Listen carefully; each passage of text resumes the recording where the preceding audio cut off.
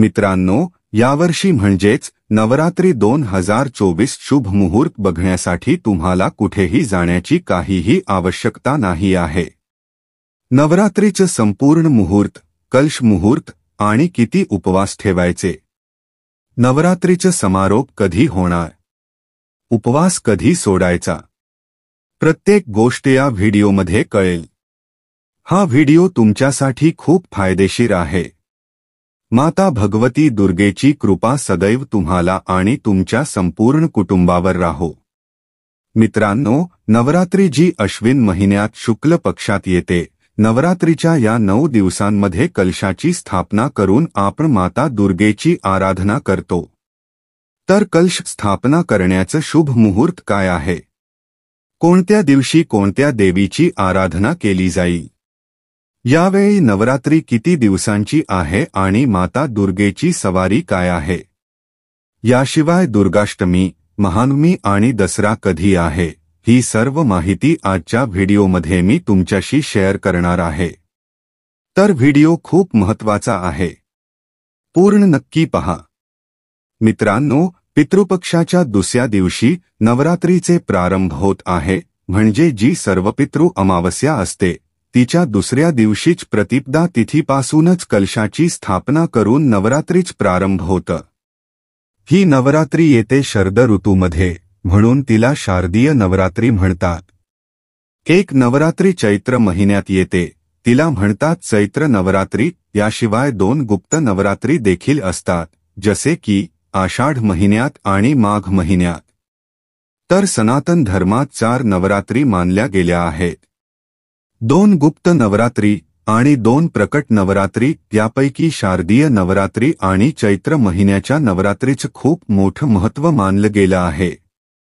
नवरात्रीच्या या नऊ दिवसांमध्ये माता दुर्गेच्या नऊ स्वरूपांची आराधना केली जाते आणि मग दुर्गाष्टमी आणि नवमीच्या दिवशी माता दुर्गेचा स्वरूप मानून कन्याच पूजन केलं जातं आणि होम म्हणजेच हवन केलं जातं आणि त्यानंतर या व्रताचा समारोप केला जातो. आणि मग दुसऱ्या दिवशी दसरा साजरा केला जातो.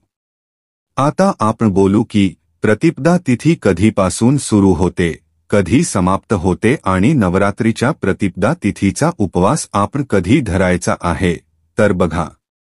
वैदिक पंचांगानुसार अश्विन महिन्याच्या शुक्ल पक्षाची प्रतिपदा तिथी सुरू होते तीन ऑक्टोबर रोजी सकाळी बारा वाजून अठरा मिनिटांनी आणि समाप्त होते चार ऑक्टोबर रोजी सकाळी शून्य दोन वाजून अठ्ठावन्न मिनिटांनी. तर अशा परिस्थितीत सूर्योदयकालीन तिथीच्या अनुसार नवरात्री सुरू होईल.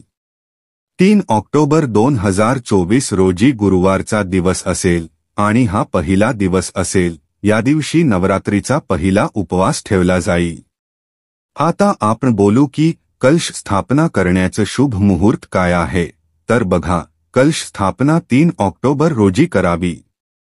सकाळी सव्वा सहा वाजल्यापासून सकाळी सात वाजून बावीस मिनिटे वाजेपर्यंत हा मुहूर्त आहे. कलश स्थापना करण्यासाठी सर्वात शुभ मुहूर्त आहे एक वाजून सहा मिनिटेचा आहे. हा एकूण वेळ तुम्हाला मिळत आहे.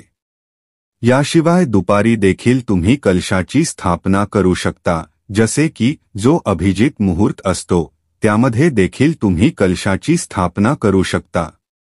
जर तुम्ही सकाळी कोणत्याही कारणाने करू शकला नाही तर अभिजित मुहूर्त मिळत आहे. तो आहे दुपारी अकरा वाजून सेहेचाळीस मिनिटे वाजल्यापासून ते दुपारी बारा वाजून तेहत्तीस मिनिटे वाजेपर्यंत. या दरम्यान देखील तुम्ही कलशाची स्थापना करू शकता.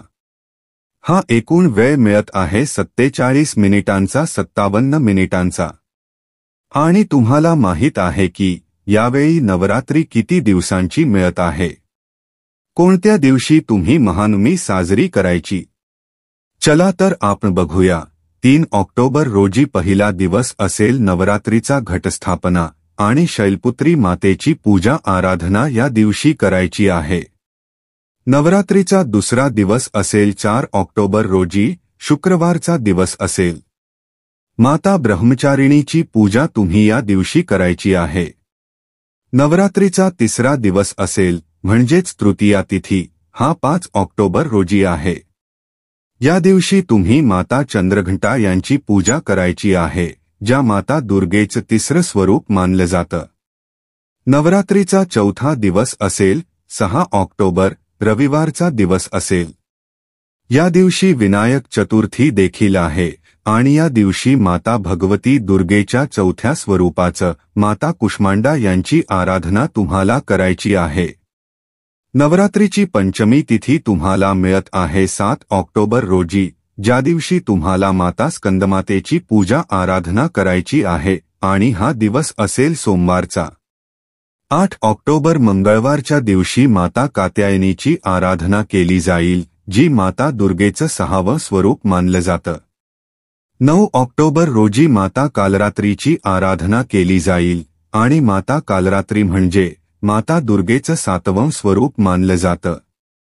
आठवा दिवस नवरात्रीची अष्टमी तिथी दहा ऑक्टोबर रोजी असेल. या दिवशी माता महागौरीची पूजा केली जाईल जी माता दुर्गेचं आठवं स्वरूप मानलं जातं. तर दहा ऑक्टोबर रोजी अष्टमी तिथी आहे महाअष्टमी. आणि नवमीचा दिवस म्हणजे नवमी तिथी. जी नवरात्रीचा शेवटचा दिवस असतो अकरा ऑक्टोबर रोजी आहे. या दिवशी माता सिद्धिदात्रीची आराधना केली जाईल जी माता दुर्गेचं नवम स्वरूप मानलं जातं. आणि यांची पूजा केल्याशिवाय संपूर्ण नवरात्रीचं संपूर्ण फल मिळत नाही. म्हणून नवरात्रीमध्ये प्रतिपदा तिथीपासून ते नवमी तिथीपर्यंत विधीपूर्वक माता दुर्गेची आराधना केली जाते. माता दुर्गेच्या नव स्वरूपांची आराधना केल्याने तुमची कोणतीही इच्छा पूर्ण होऊ शकते. तुमच्या जीवनात कोणताही विघ्नबाधा असेल कोणतीही अडचण असेल कोणतेही दुःख असेल तुमच्या सर्व प्रकारच्या समस्यांपासून तुम्हाला सुटका मिळू शकते. नवरात्रीच्या या नऊ दिवसांत माता दुर्गेची आराधना केल्यानेच हे शक्य होते. आता जाणून घेऊया की नवरात्रीत माता दुर्गा कोणत्या वाहनाने आगमन करत आहे?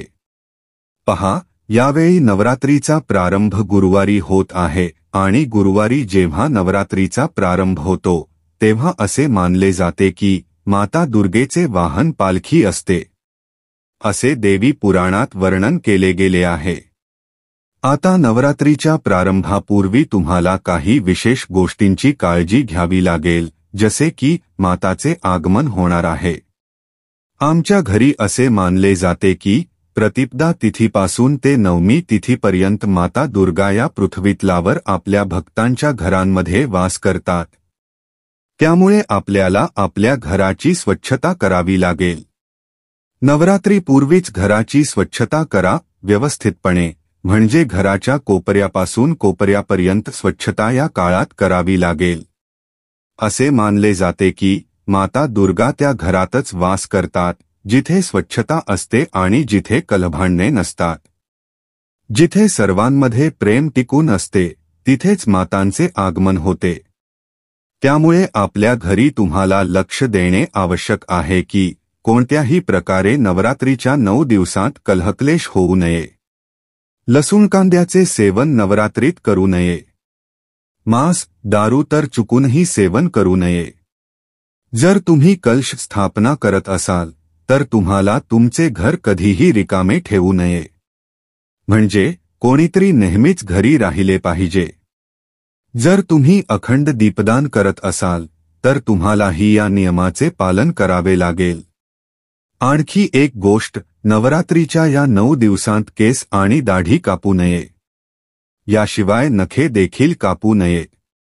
त्यामुळे हे काम तुम्हाला नवरात्रीपूर्वीच करावे लागेल. नवरात्रीच्या प्रारंभापूर्वी तुम्हाला आवश्यक असलेल्या सर्व गोष्टी आधीच खरेदी करून आपल्या घरी ठेवा. तुम्हाला माता दुर्गेची मूर्ती खरेदी करायची असेल किंवा माता दुर्गेसाठी ओढणी घ्यायची असेल नारळ वगैरे घ्यायचा असेल तर या सर्व वस्तू तुम्ही पितृपक्षातही खरेदी करू शकता. म्हणजे अमावस्येच्या दुसऱ्या दिवशी नवरात्रीचा पहिला दिवस असतो. त्यामुळे तुम्ही पितृपक्षातही मातांच्या पूजेच्या निमित्ताने कोणतीही वस्तू खरेदी करू शकता. जसे की जप करण्यासाठी माळ घ्यायची असेल किंवा सप्तष्टी पुस्तक घ्यायचे असेल किंवा अखंड दिवा घ्यायचा असेल किंवा पूजा साहित्याच्या इतर वस्तू घ्यायच्या असतील तर त्या सर्व वस्तू तुम्ही पितृपक्षात खरेदी करू शकता. काहीही हरकत नाही. पूजेची कोणतीही सामग्री जर तुम्ही पितृपक्षात खरेदी केली तर त्याचा काहीही दोष लागत नाही. तर मित्रांनो आजसाठी एवढेच. तुम्हाला जर नवरात्रीची ही माहिती आवडली असेल तर व्हिडिओला लाईक करा शेअर करा आणि चॅनेलला सबस्क्राईब करायला विसरू नका. तसेच कमेंटमध्ये नक्की लिहा. जय मा दुर्गा.